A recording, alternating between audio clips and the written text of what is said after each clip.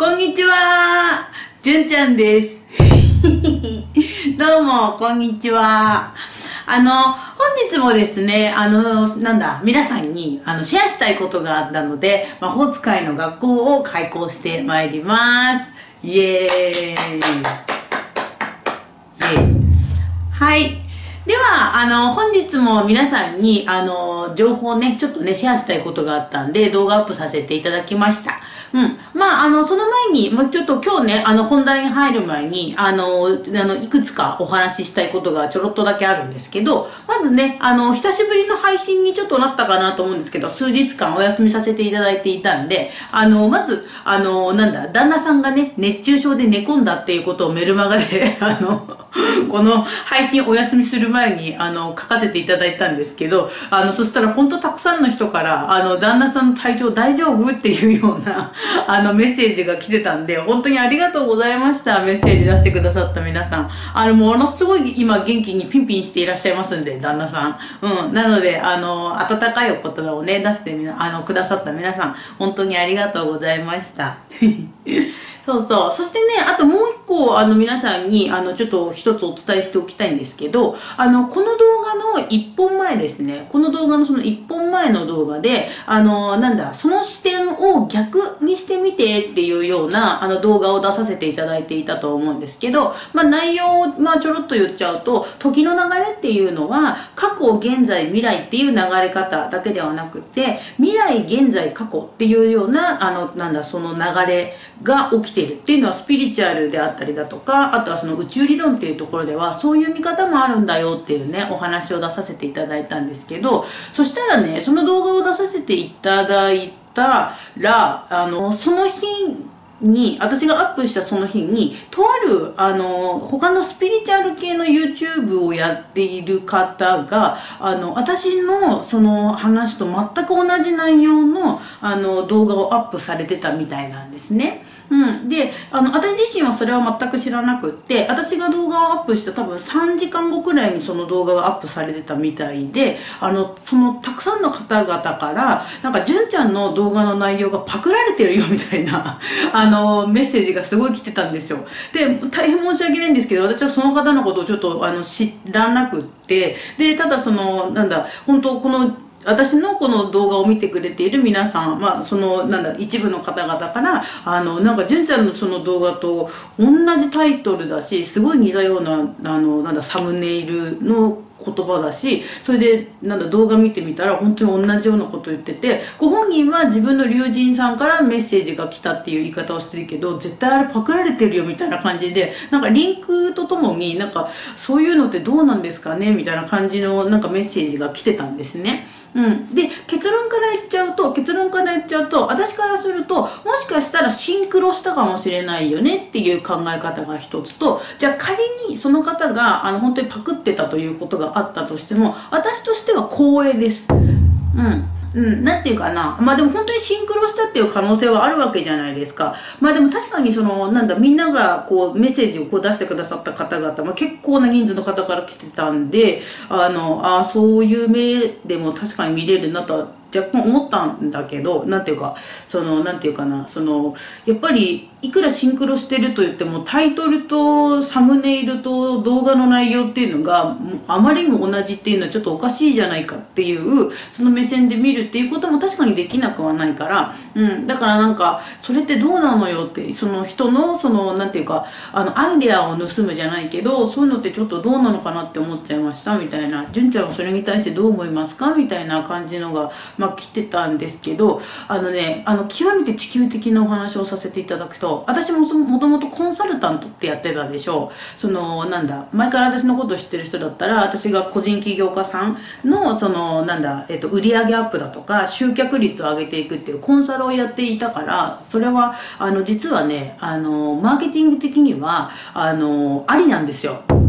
うんうんうんあのまあなんだ本当にシンクロしたかもしれないしその方が別にどうのこうのってことを私が言いたいわけじゃなくってあのただ一つのそのなんだえっ、ともしかしたらそのパクってたかもしれないねというその側面から見た時にそれをやったというその行為に対してはこれマーケティング的には OK なの。うん、OK なの。だから全然、あの、なんていうか、仮にそうであったとしても、非常に勉強熱心な方なんだなって私は思いました。うん。あの、なんだ、マーケティング用語でね、これ真面目な話なんだけど、徹底的にパクるという意味で、TTP っていう言葉があるのね。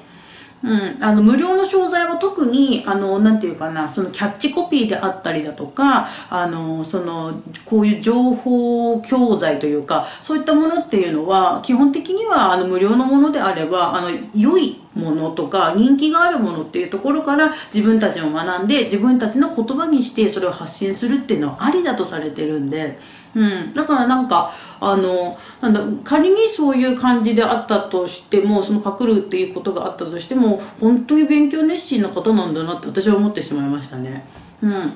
うん、そしてなんかあのなんていうかなあのなんて言ったらいいんだろう。そうやって情報がねあのたくさん広まることによって救われる人がたくさんいらっしゃるのであればそれもまたそれですごくいいことなんでうんかなんて言ったらいいかな。だからあの別にこの動画を見てくれてる皆さんも全然私のこのなんだあの YouTube のお話とかパクってもらって全然大丈夫ですからね。うん。あの別にシェアしてもらうのも全然自由だしうん、好きにしていただければと思う。うん、それなんかそのパクるものっていうのが、あの、本当の物質をパクってしまったりだとか、有料の本当に、なんていうかな、あの、一生懸命その人が作ったものっていうのをそのまんま自分のものにしてその販売するみたいなあのものによっては本当に犯罪になっちゃうようなパクるってことは絶対にやらないでもらいたいですけどこの YouTube ってこの無料のねあの情報をこう発信するっていう場所のものっていうのは基本的にはあのなんだご自由にどうぞっていう感じです私も。ほんほん。前置き長くなっちゃったんですけど、今日の本題っていうのをね、あの、早速お話しさせていただきます。うん。あのね、今日の本題っていうのは、あのね、ちょっとね、この間ね、不思議なことが起きたんですよ。で、これはちょっと本当にみんなにちゃんと言わなきゃいけないなと思って、うん、あのね、あのー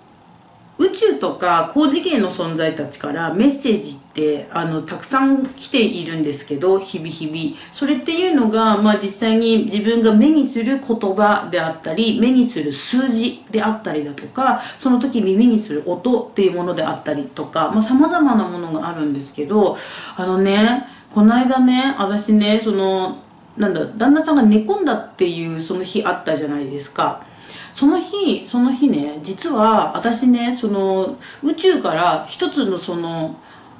なんかサインっていうものをキャッチして家に帰ってきたランニングで急いで家に帰ってきたら旦那さんが心臓痛いみたいな感じで呼吸ができないって言ってこうソファーにこうって横たわってたの実は。あの熱中症で寝込んだって言った日、うん、でそのサインって一体何かっていうとあの皆さん聞いたことあるかな？モールス信号ってやつ。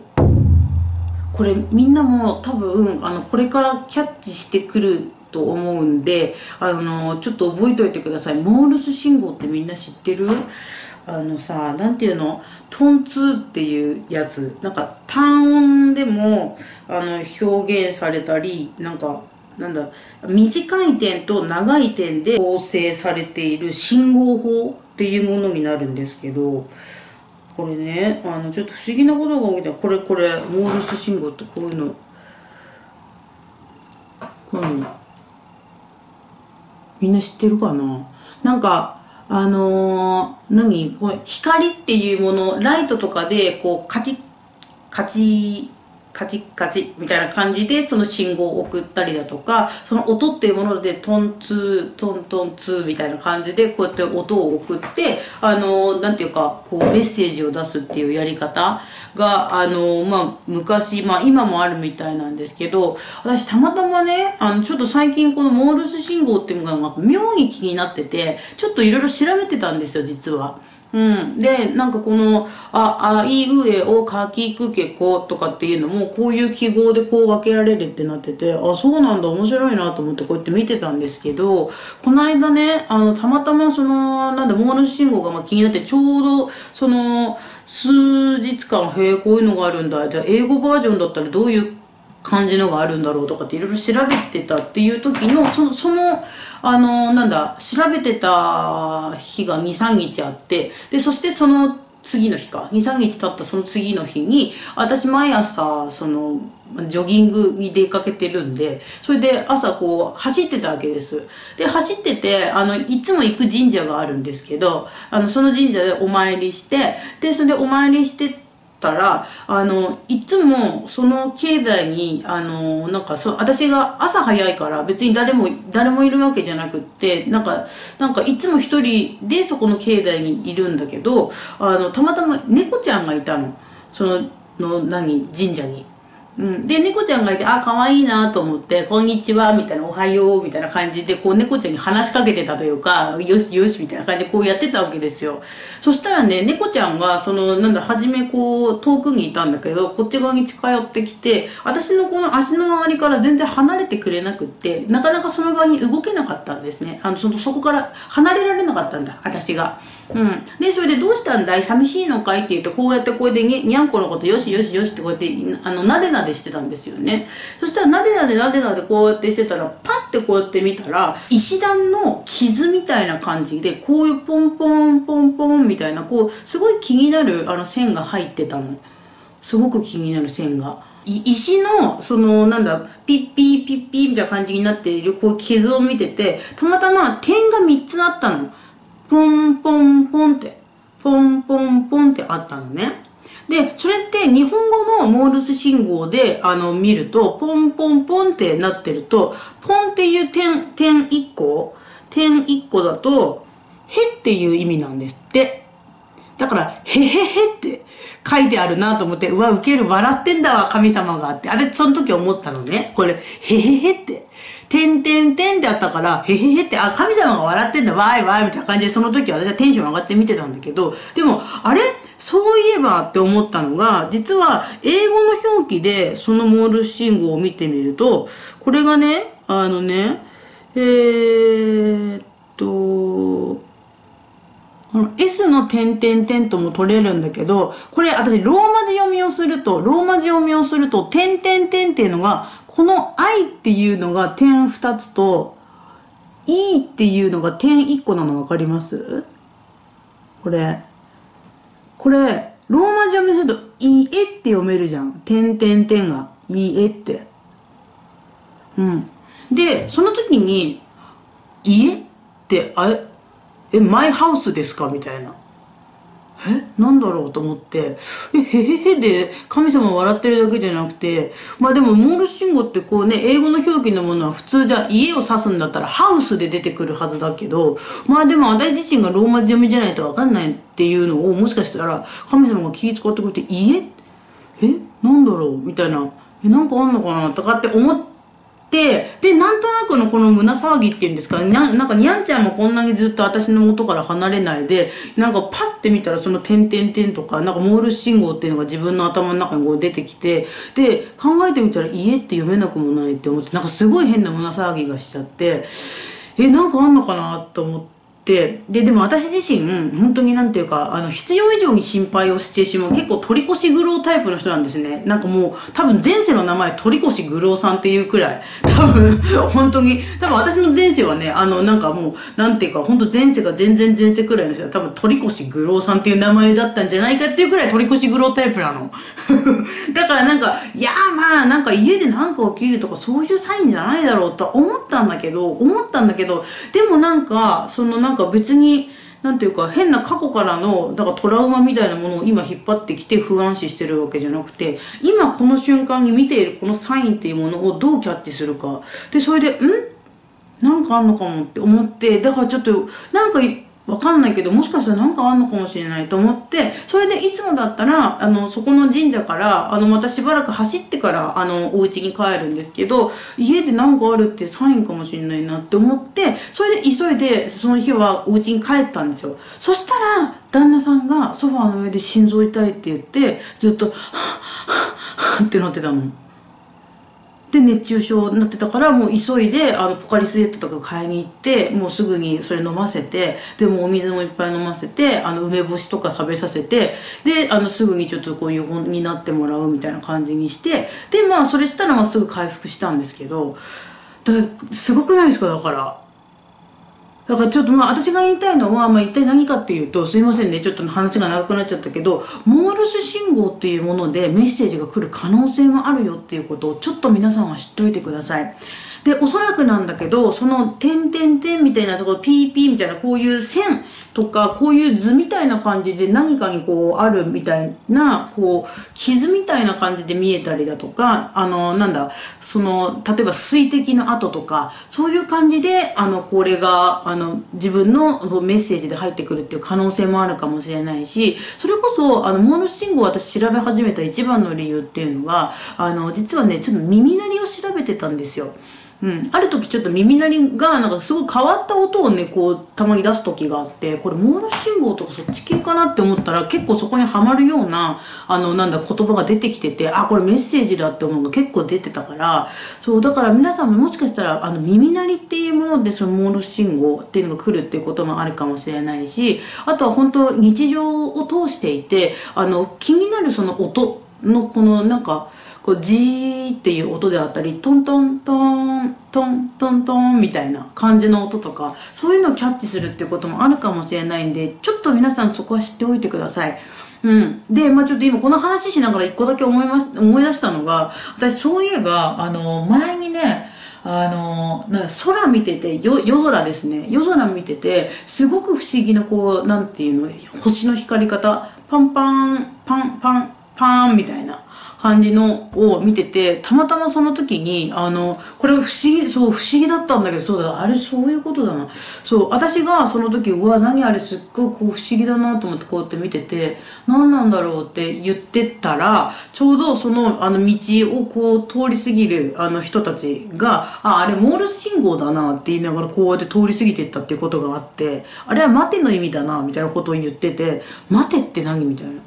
てかそんなこと会話してる人とこうすれ違うというかこうやって追い越されるとかまずそもそもないじゃないですか。で待てって何みたいな。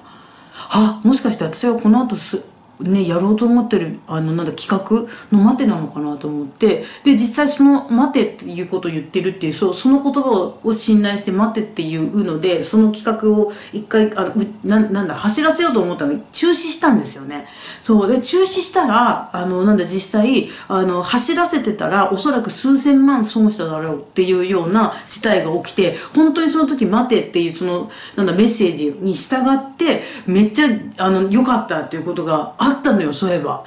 うんうん、そう思い出したよ。だそうだから、あの、なんだ、空とかを見上げて、なんか不思議な光り方をしてるなっていう星とかって結構あるじゃないですか。あれ宇宙船かなみたいなやつとか。そういうのとかも結構モーラス信号とかで、あの、こっちにメッセージ出してくるってことも結構ちょろちょろとあると思うんで、皆さんはぜひちょっとそういうことも起こり得るよっていうことをこれからね、ぜひ知っておいてください。うん、もう本当宇宙からのメッセージってさ分かりやすいものもあれば分かりにくいものもあるんですよね。うん、だからもうちょっと分かりやすくしてくれよっていうのも私もいっぱいあるんですけどなんかでもあの多分そうやってさまざまな情報をしっかりとキャッチできるようにきっと何て言うかあの、まあ、宇宙側もその私たちの成長を楽しんでるっていうのもきっと起きてるとは思うから、うん、ぜひねあのモールス信号っていうものをぜひこの後皆さんも調べていただいてあのその自分の目に入ってくるなんかそのあのマークみたいななんかそれをちょっとこうメッセージなのかなって目線で見てみたりだとか音っていうものに注目してみたりだとかこういうこう光っていうものをこう見ていくっていうちょっとそういうのもねあの皆さんは知っておいてください。まあ、じゃあそんな感じで今日お伝えしたいのはね、あの、以上となりますので、また何か、あの、お伝えしたいことがあれば、えっと、動画アップさせていただきます。ではまた、失礼します。